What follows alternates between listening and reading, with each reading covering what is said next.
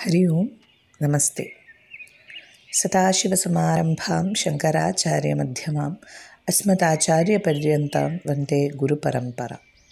ज्ञानानन्दमयं देवं निर्मलस्फटिकाकृतिम् आधारं सर्वविद्यानां हयग्रीवम् उपास्महे। श्रीलितासहस्रनामस्तोत्रं श्लोकम् इरुपति आर् इन्दश्लोकतोड अर्थं चक्रराजरथारूढ சர்வாயுத பரிஷ்கிருதா கேயச்சக்கர ரதாரூட மந்திரணி பரிசேவிதா.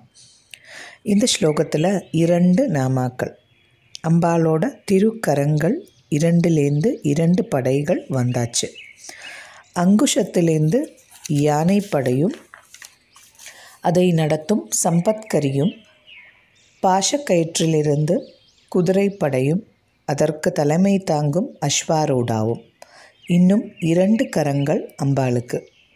அதில் ஒன்றில் இக்ஷுகோதண்டமும் மற்றொன்றில் பஞ்சபானங்கள்.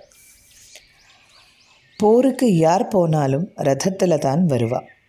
அம்பாளுக்கு அந்த ஸ்ரீசக்கரமே ரதமாக வருகிறது. அதுவே சக்கரராஜ ரதம். சக்கரராஜ ரதாரூட சர்வாயுத பரிஷ்கிருதா.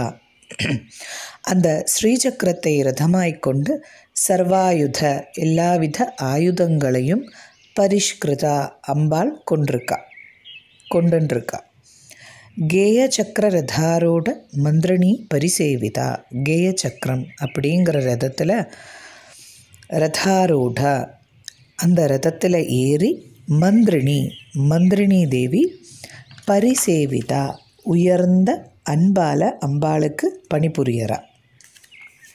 இந்த மந்திரிணியானவள் இக்ஷுகோதண்டத்திலிருந்து வந்தவள்.